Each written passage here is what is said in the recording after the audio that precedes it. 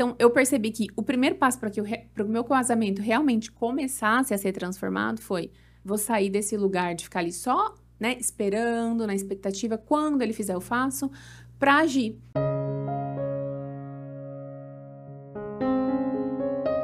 Estamos aqui em mais um episódio RestauraCast com uma convidada super especial que trabalha também com relacionamento cristão. Estamos aqui com a Beatriz Pauli. Seja muito bem-vinda. Obrigada, Érica. É um prazer estar aqui com você. Agradeço o convite. E veio de tão longe, gente, para participar aqui, para prestigiar vocês, né? Porque a história aqui de quem a gente convida acaba abençoando a vida de outras pessoas. A Beatriz Pauli, ela é de Curitiba, ela é mentora de mulheres. No finalzinho a gente vai falar mais sobre como de repente ela pode te ajudar, mas hoje a gente está aqui para falar um pouquinho de você, para entrevistar você. Beatriz, conta para mim por que que você resolveu trabalhar com isso ou como que você chegou até aqui? Tá. Bom, Érica, eu sou filha de pastores, né? Então já nasci num lar cristão, nesse eh, ambiente de aconselhamento e pessoas, mas também, como a gente estava conversando antes, fugi ali um pouquinho disso e fui ali esperando para ver o que, que o Senhor ia me direcionando. E aí me casei com 21 anos, né? E foi muito gostoso porque ele era meu melhor amigo, a gente então já tinha ali um, um contato. Mas quando entrei no casamento, eu percebi que não era tão simples quanto eu imaginava, né? Eu não tinha me preparado para o casamento. Então eu vi ali o casamento dos meus pais, das minhas irmãs, mas acabei que não tinha estudado sobre o assunto, não nem lia nada sobre, porque eu achei que eu já sabia exatamente o que eu precisava fazer lá dentro. E aí, quando... Porque era filha de pastor. Exatamente. Falei, não, tá tudo certo, perfeita, eu sou maravilhosa. e aí entrei no casamento, começou toda aquela dificuldade, né? E o Senhor foi me moldando aos poucos. Foi, foram anos, assim, de muito estudo e de muita entrega ao Senhor, para que realmente o Senhor me quebrasse por inteiro. Porque eu era uma mulher bem rabugenta, é, eu queria dominar meu marido, eu queria ser o cabeça da minha casa, porque eu achei que, bom, eu conheço mais de Bíblia do que ele, então com certeza é melhor eu direcionar isso aqui. E o Senhor foi trabalhando em mim. Quando começou a pandemia, eu sempre quis também ir pra internet e tal, mas tinha muita vergonha, tinha muito medo de me expor. O que, que as pessoas vão pensar? O que, que as pessoas vão falar? Mas aí na pandemia tava todo mundo se lançando. Falei, bom, acho que é o meu momento também. E comecei a fazer ali alguns vídeos engraçados, que eu gosto também de dar umas risadas na internet. E eu senti o Senhor de fato me direcionar para esse caminho, sabe? É, comecei a receber relatos de mulheres pedindo ajuda nos seus casamentos. Eu falei, Senhor, não era bem isso que eu tinha pensado no começo. Eu tinha pensado uma outra coisa. Só vou fazer gracinha e ganhar muito dinheiro na internet. Mas o Senhor foi trazendo pessoas e eu fui sentindo esse chamado e me lembrei. Na verdade, eu e meu marido já tínhamos recebido uma palavra muitos anos atrás de que nós iríamos trabalhar com casais. E aí o Senhor me fez lembrar dessa palavra e foi conduzindo as coisas e cá estamos. E hoje, então, vocês trabalham ajudando outros casais ou até mesmo pessoas individuais, mas para melhorarem a unidade da família. Exatamente. O meu marido, ele fica mais no backstage, ele não gosta muito de aparecer, então às vezes ele aparece num vídeo ou outro meu, mas nós discipulamos casais da nossa, da nossa igreja, né? Da igreja que a gente frequenta, trabalhamos já com eles, temos nossa célula também, então estamos sempre aconselhando pessoas e ele faz isso.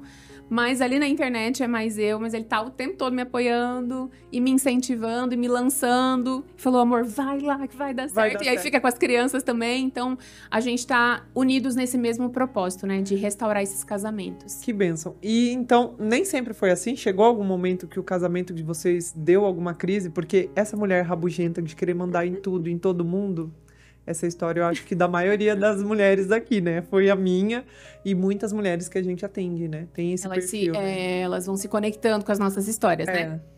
Bom, eu tenho, eu levei uma sorte porque meu marido é fleumático, então ele é assim tranquilíssimo.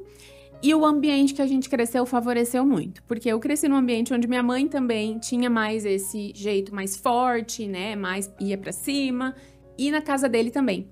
Então o pai dele era mais tranquilo, a mãe dele ia mais para cima. Então para ele tava tudo certo, era aquele casal, ah, OK, ela vai, eu fico, ela fala, eu OK, fico na minha. Mas conforme ele também foi crescendo no Senhor, apesar dele já ser cristão, né, mas nós éramos muito imaturos ainda. Ele foi crescendo no Senhor, ele foi entendendo o papel dele e que aquele não era o lugar que ele deveria estar, e nem eu naquele lugar. E aí, quando ele começou a me confrontar, eu falei, tá pensando o quê, cara? e aí, o Espírito Santo começou a trabalhar em mim. E aí veio aquele medo de perder o meu casamento, porque a gente brigava e aí eu falava tudo que eu queria falar e depois eu pedia desculpa, né? Porque eu ainda. Eu tinha assim, eu não tenho esse orgulho de, ai, não, deixa. Não, eu ia pedir desculpa, mas eu lembro um dia ele falou para mim assim: não adianta você ficar pedindo desculpa se você não quer mudar. E aquilo para mim, assim, foi tipo, ai meu Deus, acho que tá ficando sério o negócio, Pesou. né? É. E como nós morávamos longe da nossa família, volta e meia eu falava, ai, vou pegar minhas coisas e vou embora. E no começo ele, não, amor. Eu lembro a um tal da chantagem falou, emocional ah, que toda mulher faz pra cutucar. Pra tentar ali, né? né? É. Eu lembro que um dia ele falou, então vai. Érica de Deus. Eu falei, meu Deus, acabou agora. Eu não tenho mais. Eu, eu, eu senti que eu tinha perdido o controle dele. Uhum. E aquilo foi muito bom para mim. Foi difícil no começo, foi mas foi chacoalhão. muito bom. É, porque eu precisava realmente sair daquele lugar de dominar aquele uhum. casamento, né? Então, daí aí começou o trabalhar do Espírito Santo realmente na minha vida, porque eu comecei a enxergar que eu tinha coisas a mudar. Porque até esse momento, Érica, eu pensava, não, o problema é ele. Se ele fizer diferente, tudo vai dar certo no meu casamento. Se ele, sabe assim, não sei se você já recebeu relatos assim, mas eu tô sempre ouvindo mulheres que querem sair desse ele, lugar. Ele, ele, ele. É, a gente não consegue olhar pra gente, né? Então foi nesse momento que eu realmente comecei a me enxergar e ver quem eu era e o tanto que eu precisava mudar. Tanto que eu realmente precisava mudar. Isso aconteceu comigo também. eu, só que no caso, como meu marido não era de Foz do Iguaçu, que era onde a gente casou, é, eu falava, ah, então vai embora. Aí no começo ele ficou bem magoado, né? Super magoado. Porque ele veio de tão longe, né? De São Paulo para Foz do Iguaçu para casar comigo, para estar comigo, e eu mando ele embora. Na primeira ele resistiu, ficou chateado, na segunda também. Aí logo ele falou: "Não, então tá bom, pego minha malinha e vou embora". A pior dor, né? A pior dor da vida é esse negócio da gente sentir que perdeu o controle e agora? E agora que eu falo, tá, ele foi, mas eu não queria. Uhum. E aí lascou, né? Aí a gente tem que trabalhar muito. Foi aí que Deus me quebrou também. É. E aí me fez de novo, pra daí eu entender. E naquela época nem acreditar em Deus eu acreditava. Na verdade, eu tinha um conhecimento, é, a gente tinha uma base cristã em casa, não como você. Uhum. E até muitos filhos de pastores, às vezes, quando crescem, ficam uh, revoltados e, e, enfim, mas é, é aquela, aquele negócio do ir para voltar depois Exatamente. com testemunho, né? Exatamente. Eu sempre entendo isso. Mas a gente teve uma base cristã. Com 15 anos eu me converti. Só que aí, eu, depois as coisas foram acontecendo. Depois dos 18 eu nunca mais fui na igreja e tal. Fui fazer faculdade, fui morar fora, em Curitiba, né? Em outros foi lugares. Vivendo a vida, é, né? e aí fui vivendo a vida. E daí chegou na época de eu estar com 30 anos e eu já nem acreditava em Deus.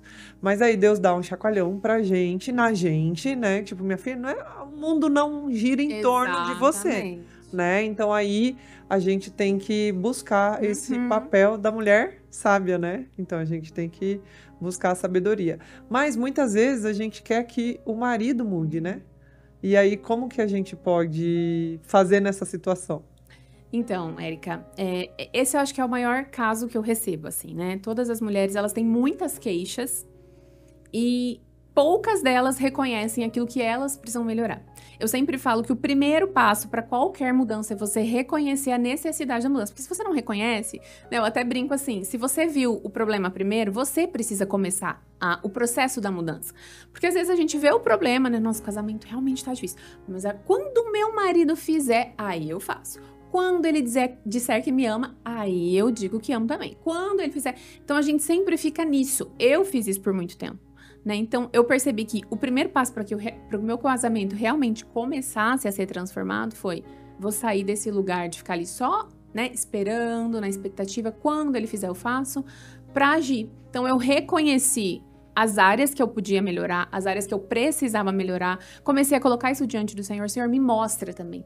Porque às vezes, Érica, a gente tá tão enraizado, a gente tá tão ali cheia dos problemas do dia a dia, envolvida com aquelas coisas e focando no erro do marido, no problema do marido, que a gente não consegue nem olhar para nós, nem enxergar em nós alguma coisa, né? Então, eu comecei a fazer essa oração sincera, Espírito Santo, me mostra as áreas que eu preciso melhorar, me mostra, me ensina, vai me orientando. Na época, o Instagram não era tão bombado assim, lá por 2014, 2015. É, não tinham tantas influenciadoras, tantas pessoas falando sobre o assunto. Então, eu comecei a buscar no YouTube. Eu assistia muitos vídeos do YouTube, como ser uma mulher sábia, o que fazer para ser uma mulher sábia. E fui filtrando, porque inicialmente também, essa questão de mulher sábia era uma coisa que eu odiava. Eu tinha ranço, eu tinha. Assim, quando começava a ler Provérbios 31, eu falava, não vou mais. Acabou, deu pra mim, deu de história. Então, foi, o Espírito Santo foi me quebrando nisso, assim, sabe? Me trazendo essa consciência dos meus erros. É a arrogância e o orgulho que a gente tem, né? Exatamente. Então, foi é, para chegar no nível que eu estou, e eu sempre falo que eu ainda estou longe de onde eu gostaria de chegar, mas já estou bem melhor do que eu já fui, né? Então, para chegar nesse lugar foi muito quebrantamento mesmo, assim, diante do Senhor, sabe? É que muitas vezes a gente não sabe se relacionar conforme aquela instituição que Deus criou, né? A instituição família, o homem sendo o cabeça da casa. Isso é um absurdo para a maioria das mulheres hoje, o homem ser o cabeça da casa. E elas. É, é, que nós temos essa tendência de querer dominar o mundo, né? Na verdade, de querer dominar a família ali, a casa e tudo. E a gente fala, não, mas se a gente não fizer, ele não vai fazer. Se a gente não direcionar aqui. E aí, às vezes, a gente acaba trocando o papel, a gente deixa de ser esposa e a gente começa a ser mãe. Exato. A gente começa a ser uma governanta, a gente, come... a gente quer ser tudo. E aí a gente perde o papel da esposa, né? E a gente perde aquele papel que Deus deixou pra gente de ser a esposa sábia, que não quer dizer que a gente tenha que baixar a orelha para uhum. tudo, no caso assim de as, as pessoas acham que ser uma mulher submissa é ser uma mulher que às vezes até apanha do marido, que ouve tudo calada, que não tem voz, que, que nada. Mas não foi assim que Deus deixou. E Deus deixou o papel para cada um, tanto que o Provérbios 31 uhum. tal fala certinho do nosso papel. Mas tem também a forma certa da gente amar o nosso marido, conforme a, a Bíblia, né?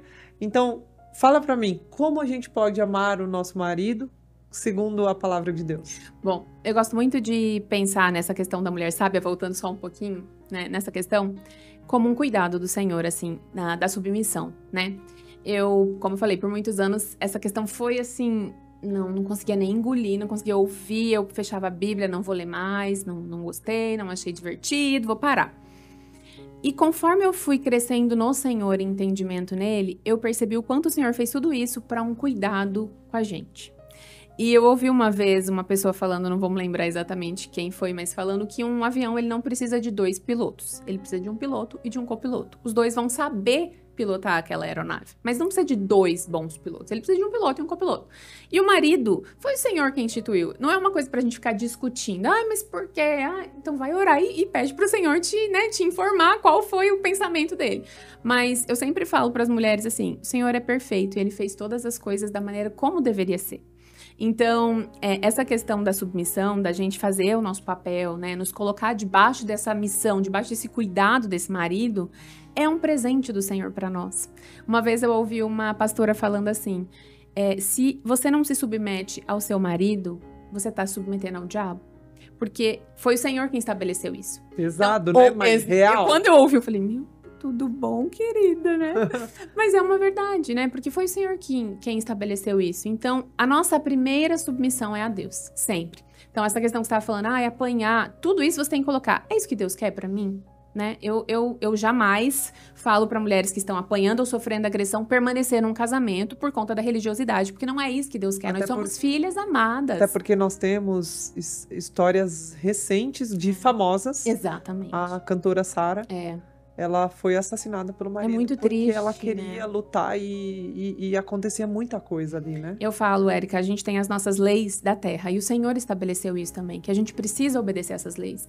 Então, tá errado. Isso precisa ser é, levado até a polícia. Então, não é algo para você ficar apenas orando. Eu acredito muito na transformação do Senhor, sim, mas eu também acredito naquilo que o Senhor estabeleceu. Então, se isso está acontecendo na sua casa, mulher, não se cale, sabe? Não, não se submeta a esse tipo de agressão agressão, vá até a polícia, denuncie, converse com seus pastores e ore também. Eu sei que o senhor pode fazer, mas eu não permaneceria e não aconselho ninguém a permanecer nesse tipo de casamento. O meu marido, que trabalha com a perícia, uhum. ou seja, já é pós-morte, né? Já é, já é depois, uhum. quando aconteceu um acidente ou alguma coisa assim. E ele fala, amor, é tragédia anunciada mulheres que passam, ou homens também. É, é, é raro, é, é, menor, é menor.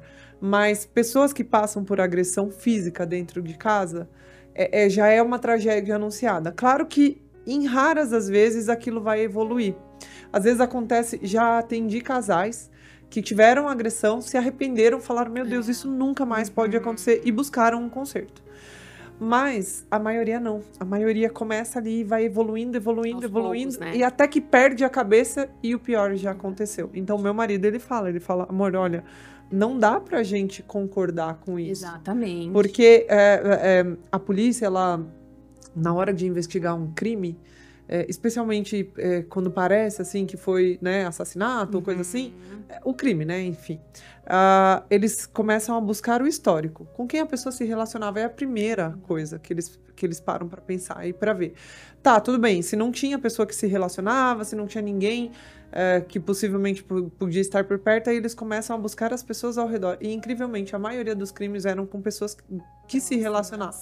Então, assim, aí já é tragédia anunciada. Então, isso que a Beatriz falou, gente, precisa de ajuda. Não dá para querer lutar sozinha. Deus transforma, sim, pessoas. Já sim. conhecemos diversos testemunhos. Exatamente. Eu conheço um testemunho, assim, que a, a esposa, ela guardava as facas debaixo da cama. Porque era bem grave o negócio. Mas hoje o cara é transformado, ele ajuda outras pessoas também e tal. Claro. Mas assim, poucas. Não é que poucas, é que, enfim, cada um tem a sua história e de transformação e de permissão, porque Deus dá o livre arbítrio, né? Assim, a pessoa ela tem a opção dela querer mudar ou não. Quando eu tava sentindo a dor da separação do meu casamento, eu podia ter permanecido uhum. durona daquele jeito e ah, tá, vou pro próximo. Vida que segue. Vida que segue, só que não. Então assim, eu eu, eu me permiti ser transformada e a transformação ela dói, gente. Gerar testemunho dói, dói né? A transformação ela dói muito, mas é bom passar por esse período, porque daí a gente respira, alivia e aí tudo vai se encaixando, que a gente tava falando da palavra da semeadura, né? A gente vai plantando tanta coisa errada, aí a gente colhe o errado. Mas dali para frente, fazendo diferente, né? Ah, vamos lutar, Tem vamos opção fazer. daí, né? É, mas enfim. E aí é, é a partir daí, né? Mas a, a perguntinha da, da, de como a gente pode amar o marido segundo a palavra de Deus. Bom, eu acredito que isso não é nem não se encaixa apenas nessa questão do amar o marido ou a esposa. Nós fomos chamados para sermos parecidos com o Senhor, né? Então o amor do Senhor ele é um amor é, unilateral, ele é um amor de entrega, ele é um amor que não depende de nada, não depende de nenhuma atitude. Eu acho que esse, quando eu começo a ler, né, a receber pessoas e ouvir pessoas, eu vejo que as mulheres elas querem é, que o marido é, faça algo para elas darem esse amor. Ele precisa ser merecedor desse amor. E não foi isso que o Senhor nos chamou para fazer.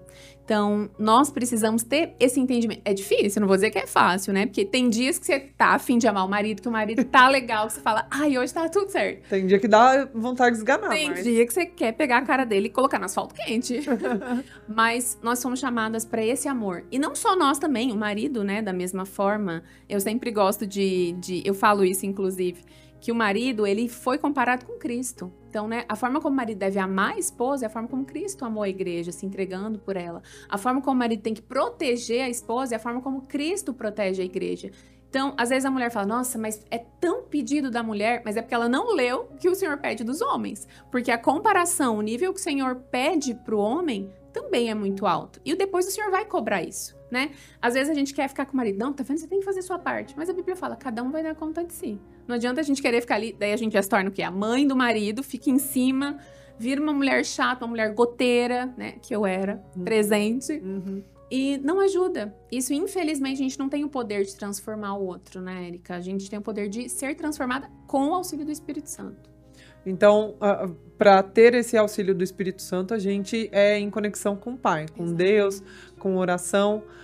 Quais, área, quais áreas a gente deve orar pelos nossos cônjuges? Olha, eu sempre eu, eu tento trazer isso para minha vida, né? Como que eu faço lá em casa com meu marido. Então, eu tenho tentado é, iniciar o meu dia já orando pela minha casa. Nós temos dois filhos né? Então, orando por eles como um todo. Mas entendendo que meu marido é o cabeça e o sacerdote da minha casa, eu sempre oro com muita intencionalidade em relação a isso, Érica, que às vezes a gente esquece, né? Eu vejo que eu errei muito nisso. A minha oração era: Ai, Deus, eu queria tanto trocar o meu sofá, por que você não faz meu marido querer trocar o sofá? a gente quer conduzir o Senhor, a gente quer como que mandar em Deus, sabe? Achar uma forma ali, uma brecha. E não é assim. Então, a nossa oração precisa ser segundo a vontade do Senhor Deus. Se essa é a sua vontade, então que ela seja estabelecida na minha casa. Né? Então, eu tenho orado muito para que o Senhor continue levantando meu marido como um sacerdote, como líder, como cabeça da minha casa, para que o Senhor trate com ele. Eu sempre falo assim: é, Deus que criou, o homem e a mulher, né? Então eu vou reclamar direto com Deus. Deus, olha, você tá vendo que ele tá me fazendo passar essa raiva, você vai. então eu vou entregando essas coisas pro Senhor, porque ele é meu pai também, né? Então ele tem esse cuidado comigo. Então eu oro pelas, por essa questão do sacerdócio, para que ele realmente exerça com excelência, da maneira como o Senhor estabeleceu que ele, que ele exercesse. Oro também para que o Senhor guarde os olhos, né? Eu vejo que os olhos, ele é uma porta de entrada ali para muitas coisas. É, quando você vê Eva, quando ela pecou, começou com os olhos, então aquela cobiça dos olhos, ela olhou, ela desejou aquele, aquela maçã, aquele fruto, né, na verdade. Então, oro pelos olhos para que o Senhor guarde, oro pela proteção também. Então, eu vou orando por cada área, mas eu sempre tenho é, intensificado a minha oração nessa parte do, da liderança do sacerdócio, sabe? Para que ele faça isso de acordo com a vontade do Senhor. Que não seja a minha e nem a dele, mas que seja a vontade do Senhor na nossa vida. Amém, amém. E muitas vezes a gente não tem nem uh, a sabedoria disso, né? E aí a gente tem que buscar em Deus. Uh, mecanismos para que o casamento não seja destruído, né? Porque hoje a gente trabalha Uh, no meu caso, eu trabalho mais fortemente ainda com casamentos em crises. É, Já, né? Isso. Hoje a gente trabalha com casamento em crise ou já separados ah. ou divorciados. A maior parcela é de separados ou divorciados. Então, assim, são histórias pesadas, mas as histórias a gente percebe que se repetem em todos os lares. É, é, mais ou menos é a mesma formulazinha. Mudam as pessoas, mudam algumas características, mas só muda de endereço. Então acontece muito facilmente os lares serem destruídos, né? Então, os lares eles acabam ali é, tem vários perigos dentro uhum. do lar que a gente não, a gente às vezes a gente não consegue enxergar. Exato. E você que é mentora de mulheres e de casais com seu marido também, consegue me dizer quais são os perigos ocultos dentro do casamento? Legal você trazer isso, Érica. É, inclusive, é um dos módulos do meu curso que eu falo sobre esses perigos do casamento, né? Porque sim, nós temos muitas coisas que vão ali nos envolvendo e a gente não percebe. Então, alguns dos perigos que eu coloquei é, são os filhos. E aí você pode falar, meu Deus, não, meu filho é um anjo, é uma bênção do Senhor. E sim, ele é um anjo, é uma bênção do Senhor, é a herança do Senhor. Mas só quem tem filho e é casado sabe o quanto a gente precisa ser intencional no casamento depois que os filhos nascem. E nós duas temos, né? Exatamente. A então a gente sabe é. bem. Por quê? Porque a, é tão envolvente, né? Quando o bebezinho nasce, a gente tem tantas outras demandas que a gente vai acabando e deixando esse casamento. Então, esses filhos, né, apesar de sim, como nós falamos, é uma bênção, são herança do Senhor. Se você não cuidar, se você não se atentar que você ainda tem esse casamento, em manter esse casamento aceso, ele vai se perdendo. E aí vão ficar duas pessoas que só estão compartilhando dívidas, responsabilidades, filhos, mas que não tem nada além disso. Então, um outro perigo também é a nossa rotina. A gente vive correndo, a gente vive com muito trabalho, muita tarefada.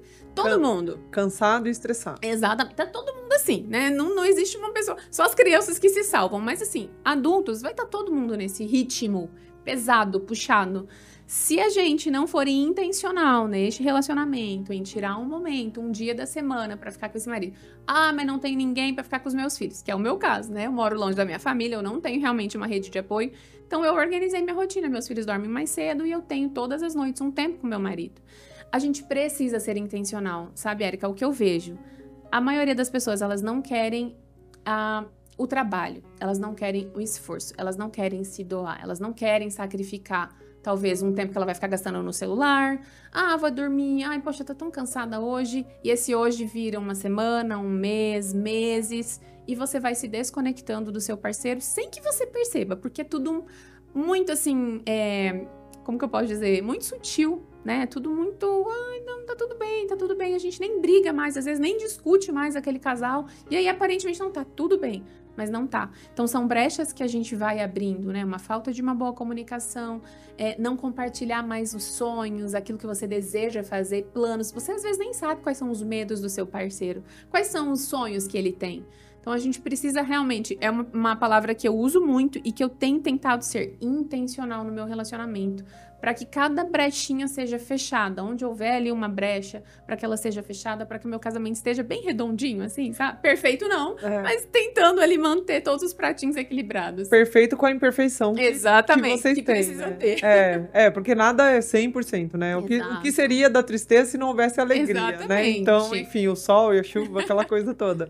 E a questão dos erros. Então, esses são os principais erros Isso. dos casais. É, tem também, eu trago, né, nesse meu curso a questão das finanças, porque algumas coisas são bem. É, a gente já tem mais ou menos uma noção, né? Quando eu recebo casais que já estão super em crise, você já sabe, é uma traição, é um, né, um adultério ali, tem a questão das finanças, a discussão com familiares, então outras pessoas de fora que acabam se envolvendo no casamento. Então são coisas que a gente precisa se atentar e fechar cada área, cada brechinha, sabe? Que a gente vai abrindo. Porque são coisas que a gente faz. Eu falo que mesmo uma traição, ela não tem só um responsável né? Por mais que, ah, mas foi meu marido e foi uma decisão dele, ele que agiu errado, tudo bem. Mas a gente precisa olhar o todo desse casamento. Como que tava esse casamento, né? O que, que a gente tá fazendo? Qual a tua parte? Porque um casamento não é feito só de uma pessoa. É então, verdade. o sucesso desse casamento é dos dois e o fracasso desse casamento também é vai para os dois.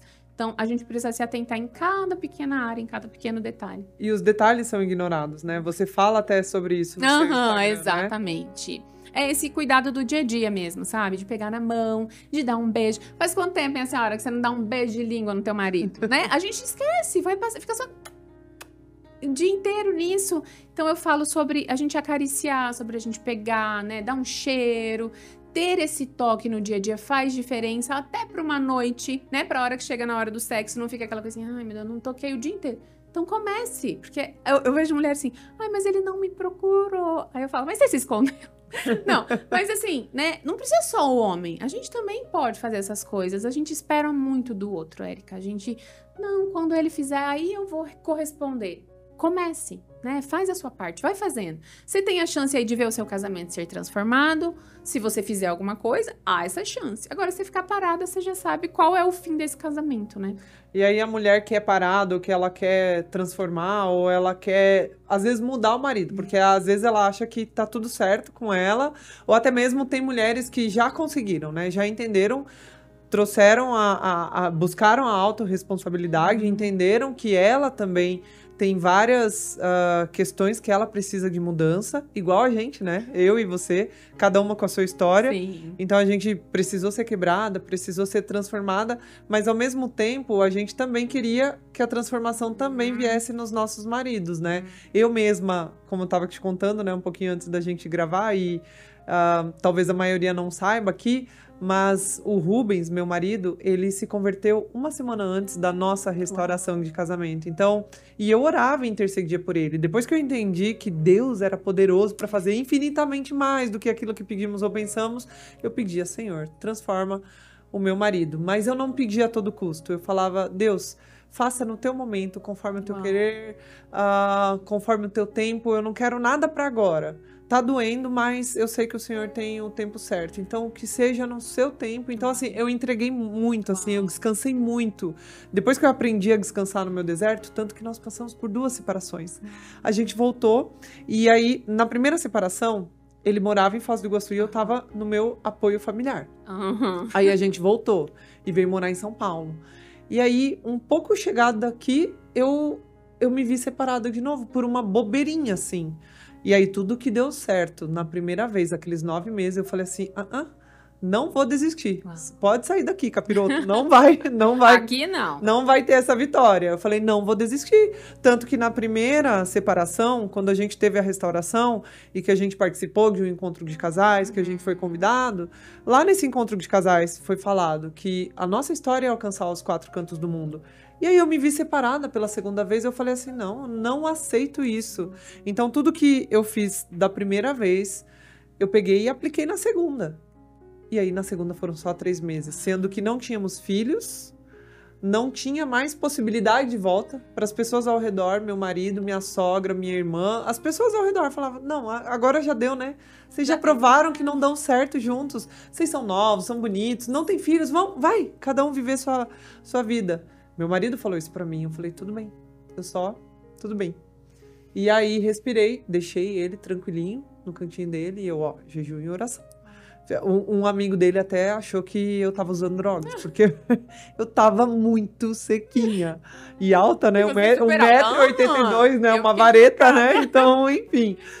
E aí eu tava muito sequinha mesmo. E, mas eu falei assim: não, eu não desisto, eu não desisto da minha família. Então eu descansei e foram só três meses. Tanto que é isso que eu ensino no Missão Casamento Restaurado. Tem o um link aqui abaixo se vocês quiserem é, participar do Missão Casamento Restaurado. Mas eu, eu, eu fui juntando tudo que deu certo na minha história. Então, Missão Casamento Restaurado, ele é validado na minha história, uhum. primeiro, e agora na história dos meus pacientes e dos meus alunos, porque são estratégias que eu utilizei nos meus desertos e que também eu utilizo na, na vida dos meus pacientes. É que eu atendia muito e eu via que a história sempre se repetia. Também. Só mudava o, o, só mudavam características, mas as histórias eram sempre as mesmas.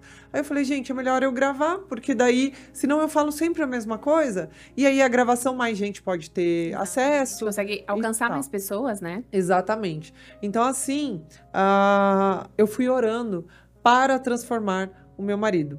E me diz você, como a gente pode transformar o nosso marido? Ah, essa daí é a maior questão, né? É, todas as mulheres chegam, não, que eu preciso que meu marido seja transformado.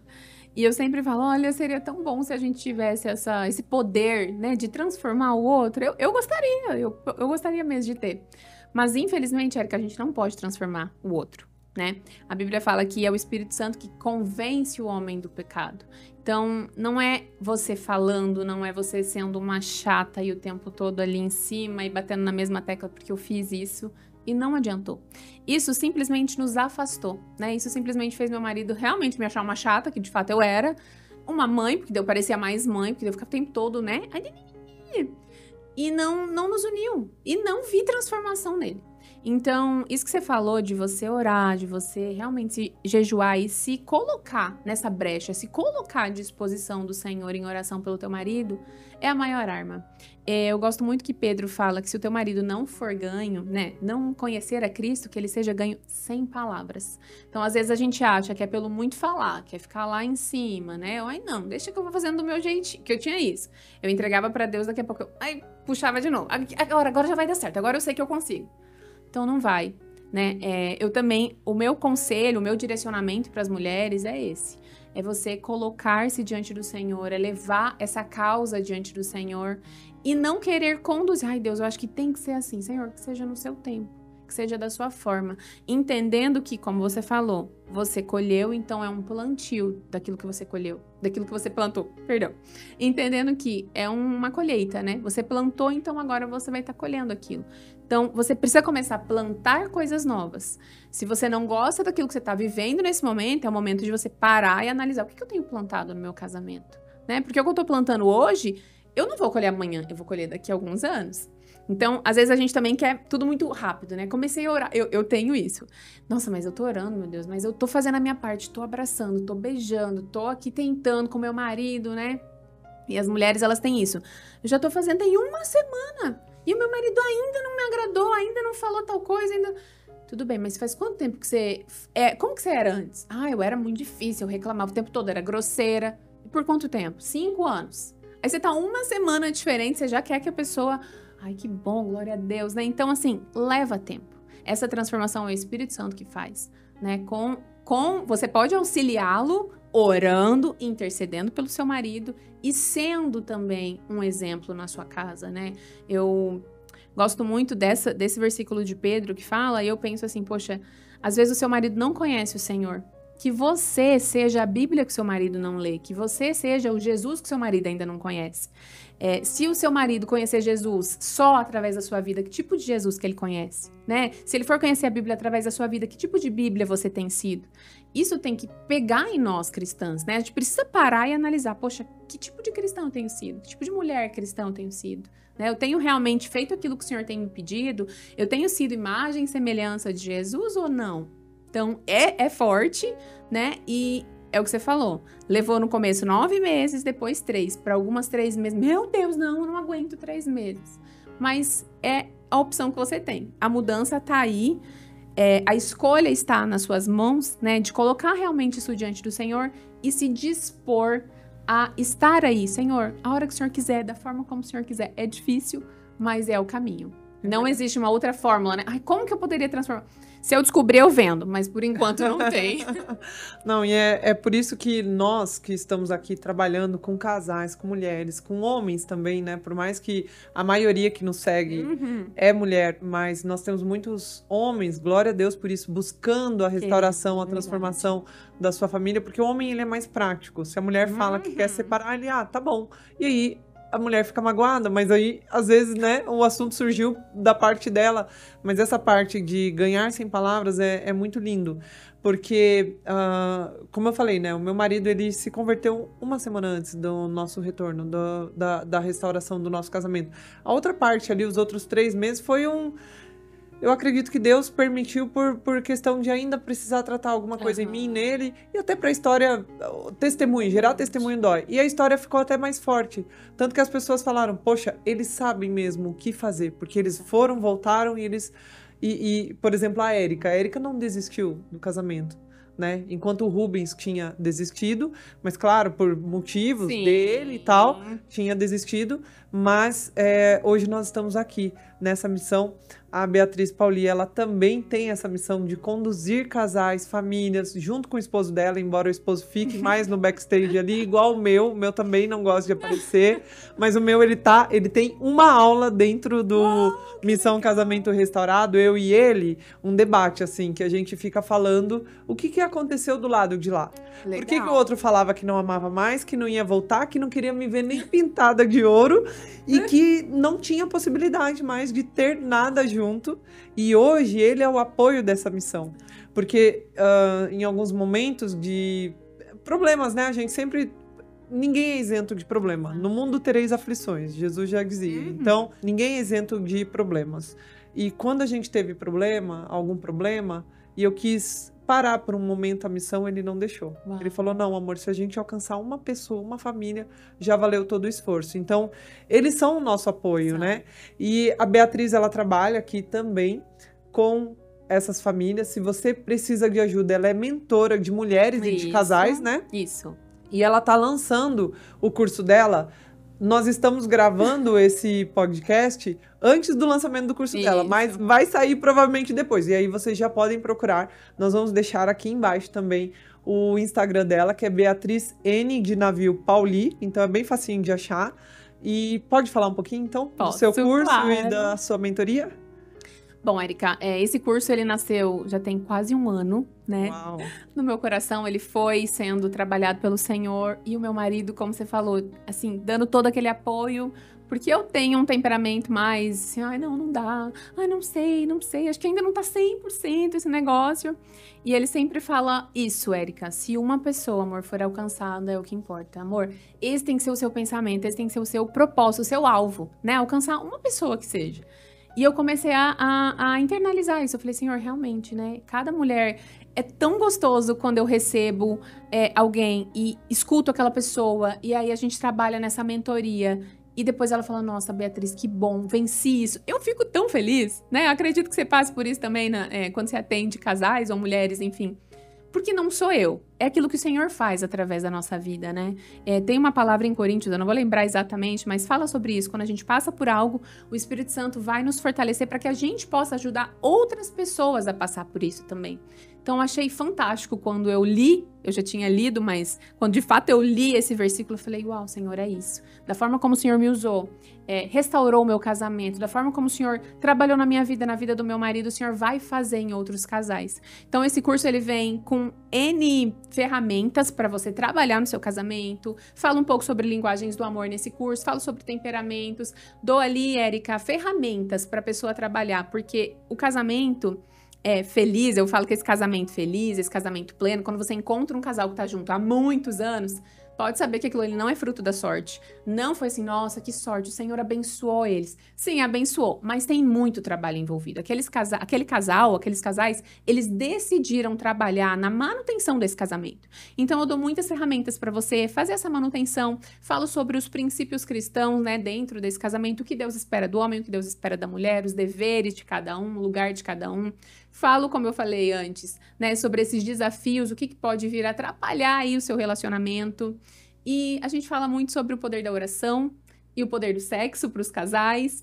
E um outro módulo que eu tenho é para quem é solteiro. Porque acho que no começo eu estava falando sobre isso, às vezes a gente se prepara para festa, né? Gasta, investe, contrata pessoas e nada disso é errado ou pecado de forma nenhuma. A gente se prepara um ano, às vezes dois anos. Eu tenho amigas que ficaram dois anos ali se preparando e investindo tempo e dinheiro para festa acontecer. Só que a festa ela dura ali, sei lá, duas horas, três horas. E aí depois a pessoa não sabe como agir dentro de casa, não sabe como que ela faz, o que, que tem que fazer, né? Tipo aquele meme. Agora, o que, que eu faço?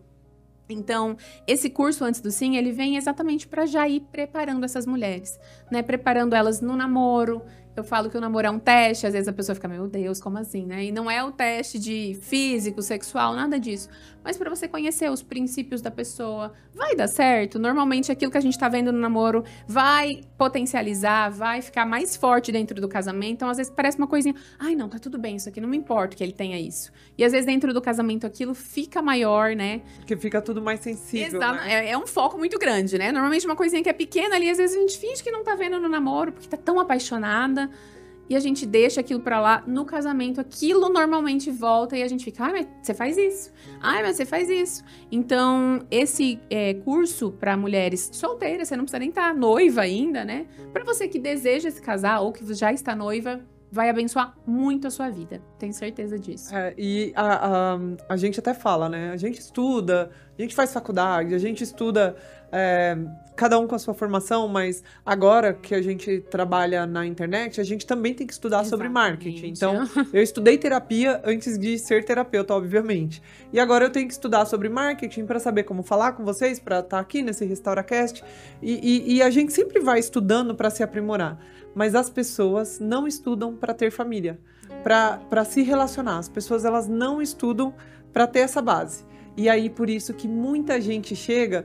No, no teu caso, o pessoal chega talvez em crise ou então querendo melhorar. Mas isso. o meu já chega na crise, assim, na UTI. O, tanto que o meu curso era para se chamar UTI do casamento, mas Deus me deu a missão, então é missão casamento uhum. restaurado. Mas já chega na UTI, porque ou já tá morrendo ou já morreu. É, então assim, e, e, e aí as pessoas às vezes não querem investir. Então, gente, eu não tô falando aqui de investimento financeiro. Claro que o financeiro, se você falar assim, nossa, mas 50 reais, 100 reais, 200 reais, 500 reais, mil reais, vale tua família? Qual, qual, é o valor que você está disposto? Às vezes a gente compra uma roupa, às vezes a gente compra, sai para comer uma pizza. É, às vezes é o valor de você investir em algo. Exatamente para a tua família. Então, aqui a gente não está falando de, de valor financeiro, mas qual é o valor que tem a tua família? Invista na tua família. Igual a Beatriz no começo, ela assistia vários vídeos do YouTube e vocês estão aqui nos assistindo hoje. Mas se vocês quiserem investir um pouco mais com mentoria, ela é mentora, então ela tem o curso dela e tem a parte de mentoria.